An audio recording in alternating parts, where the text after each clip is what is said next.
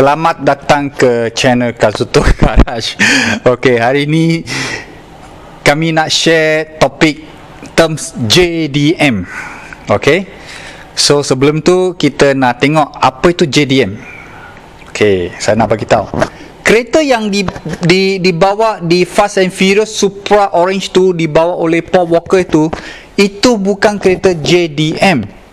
Okey? Dan banyak-banyak Civic atau uh, kereta Jepun di Malaysia itu semua pun bukan JDM.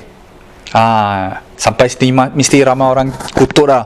Oi, Kazuto, you tahu tak tahu? Paul Walker bawa tu dalam Fast and Furious satu orange Supra orange tu JDM lah, Toyota Supra lah.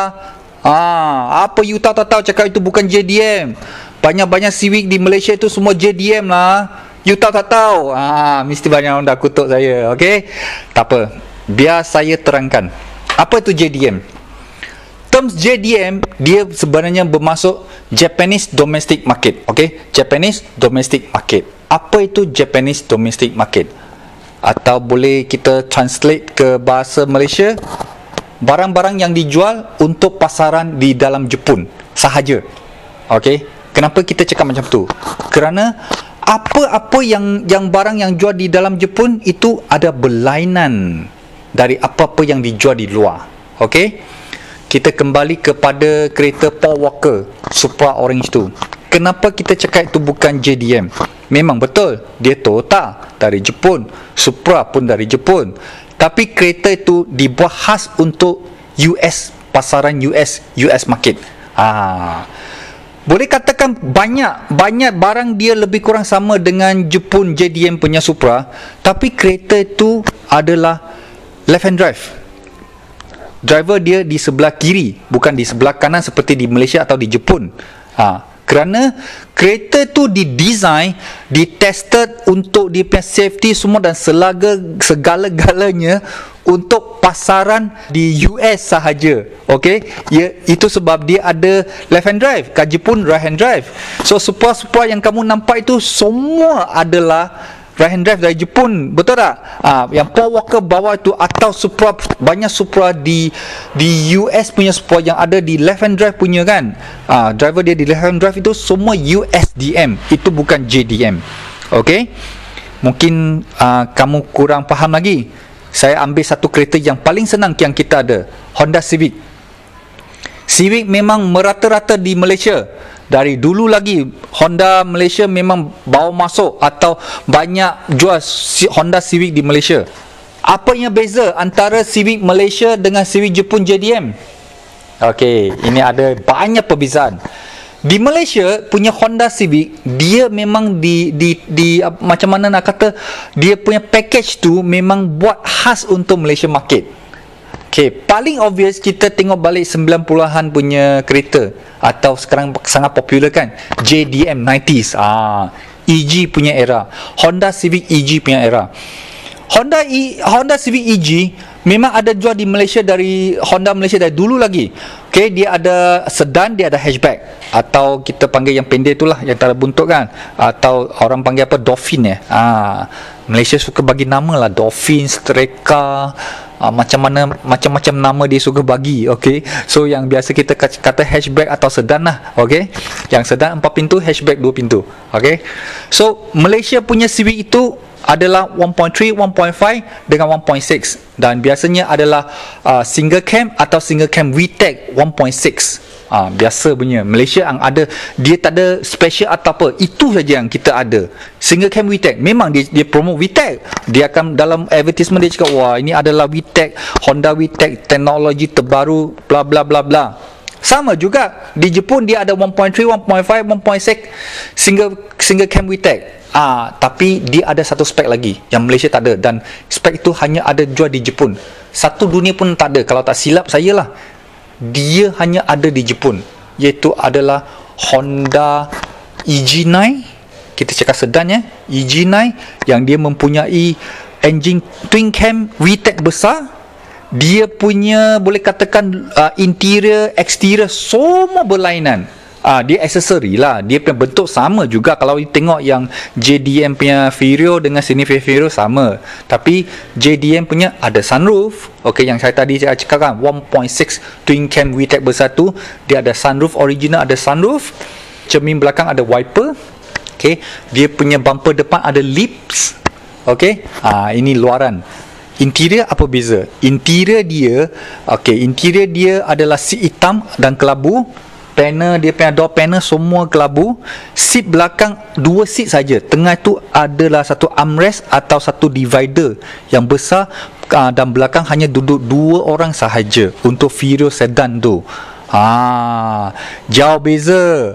Dan dia kalau tak silap uh, meter dan lain-lain lah. Banyak juga. Dashboard hitam semua. Ha, lepas tu dia belakang tu uh, bonnet ada spoiler. Bonnet belakang itulah JDM bandingan JDM dengan Malaysia punya memang jauh beza. Walaupun sama sekelip mata kau tengok oh Civic sama saja.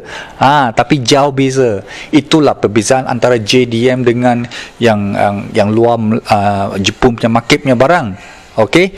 So jangan salah sangka kalau kamu bawa sebuah kereta dari Jepun itu adalah JDM jangan salah sangka ya dan saya nak bagi tahu JDM tak semestinya kereta Jepun.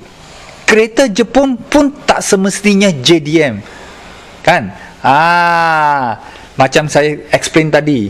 Banyak kereta Jepun di di luar Jepun itu semua bukan JDM pasal dia untuk macam US market USDM untuk Malaysia market MDM kalau you pakai Honda Civic yang beli di Malaysia dengan uh, Honda Malaysia uh, Civic anda adalah MDM bukan JDM. Ah, sakit hatinya. Okey, tak apa. Uh, jadi banyak orang pun suka buat conversion, buat conversion dari beli pot uh, tempatan pilihan kereta seperti kita beli Wira, kita nak main Wira, uh, kita beli Wira, kita nak main Evo, kita tak mampu kan. Uh, saya tak mampu beli Evo mahal sangat. Jadi saya beli Wira, saya convert, saya beli kedai potong punya half cut, saya convert body part, saya convert engine semua. Oh, bangga.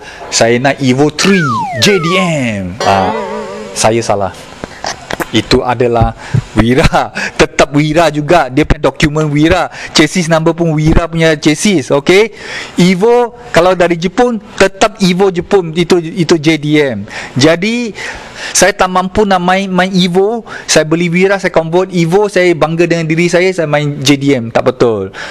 Yang di Jepun lain apabila orang Jepun tu dia kalau dia nak main Evo dia takkan beli Lancer untuk convert Um, dia lagi banyak. Sebenarnya Evo Jepun lagi banyak. Oh, boleh beli Lancer pun lagi banyak. Beli Lancer convert melambat. Tapi kat Jepun dia tak macam tu. Orang Jepun biasa dia pentingkan quality. So apabila dia nak main Evo dia beli Evo terus. Uh, dia takkan beli Lancer convert. Okay? So di, kalau dia nak main MyVac okay MyVac hanya di Jepun ada. Ha, itu pun JDM so dia akan beli MyVac saja So kita di Malaysia ni kita beli Satria kan. Beli Satria macam saya beli Satria Lepas tu saya convert MyVac Fully MyVac. Oh bangga saya pakai Cyborg MyVac JDM Salah ni. Saya ni baru pakai Satria.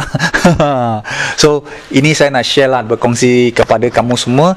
Uh, Harap-harap kita Majukan budaya kereta kita Di Malaysia Dengan menggunakan terms yang betul.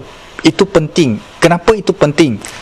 Di Malaysia kita guna term-term macam ni Kita bangga Ah, kerana tak ada orang luar kan. Apabila orang luar dengar, eh, you ini tahu tak tahu, ah, dia akan kutuk, akan dia akan gelak. Ini orang Malaysia ni, ah, Kazuto ni tahu ke tak tahu? Pakai Wira dia cakap pakai J- JDM, ah, dia pakai Wira saja. Ah, nanti masalah kutuk saya pula. Ah, so kita nak share di sini. Uh, jangan salah faham kita bukan nak kutuk ke apa-apa kepada siapa kita nak berkongsi uh, kita kena gunakan terms yang betul di tempat yang sama Okey dan JDM ni juga boleh dikatakan segala-gala barang saja yang ada jual di Jepun. Okey, sepatutnya kita pernah jumpa rim JDM di Jepun. Dia dari license dari Bridgestone ah jenama tire ya. Ya dia ada keluar rim di Jepun tau.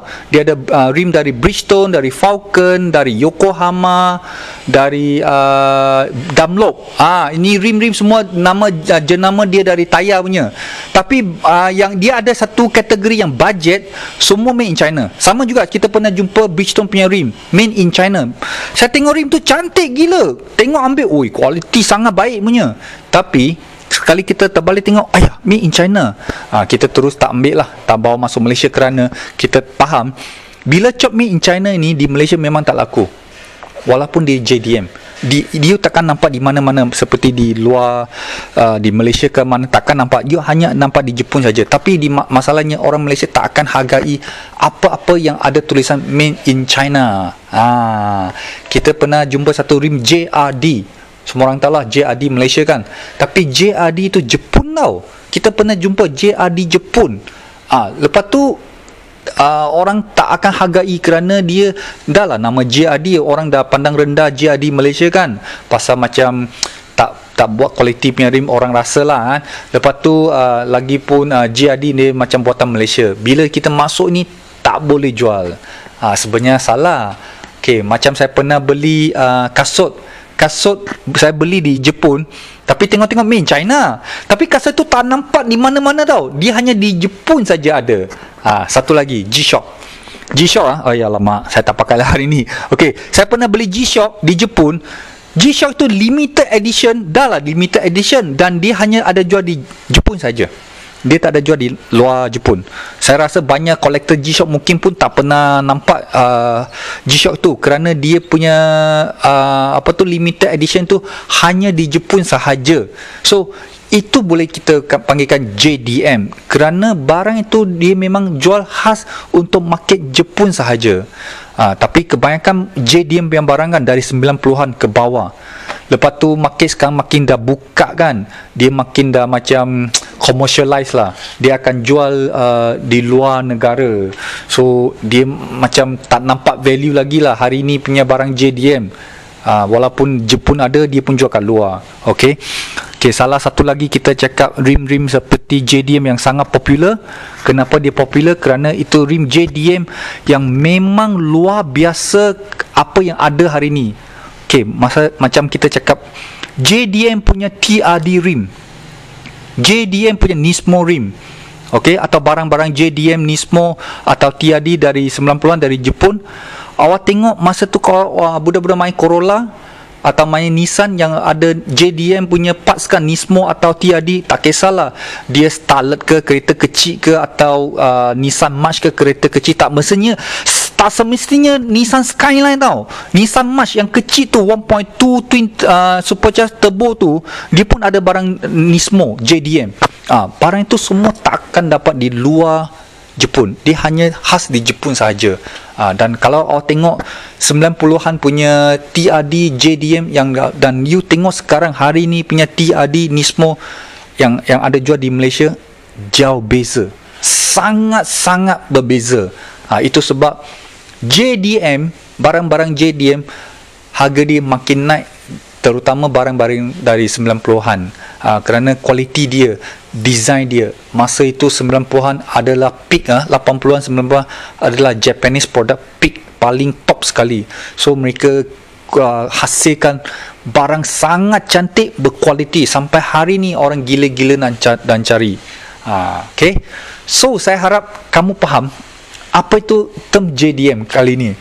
Kali ini punya sharing JDM dan saya harap uh, masa depan saya akan share lagi terms-terms yang Malaysian atau kita salah gunakan. Ha, saya dah ada lah sebenarnya tapi kita akan cakap next ya. Okay, kita uh, share kan kenapa kita nak share? Kerana kita nak unite kita nak majukan budaya kita supaya kita tidak digelak apabila kita keluar luar sana terutama ke, ke jiran negara atau ke, ke ke luar negara nanti orang akan kutuk kita kerana kita salahkan salah guna terms Okey. Jadi sampai sini saja hari ini untuk uh, topik JDM ini. Jangan lupa komen di bawah apa pendapat anda tentang konten hari ini tentang JDM. Faham ke tak faham? Boleh juga tanya soalan di bawah, sila komen di bawah. dan jangan lupa support channel Kazuto Garage dan kita akan share lebih banyak lagi topik-topik budaya kereta Malaysia. Okey, sama-sama kita majukan budaya kereta Malaysia ini ke antara bangsa. Okey, kita jumpa di next video.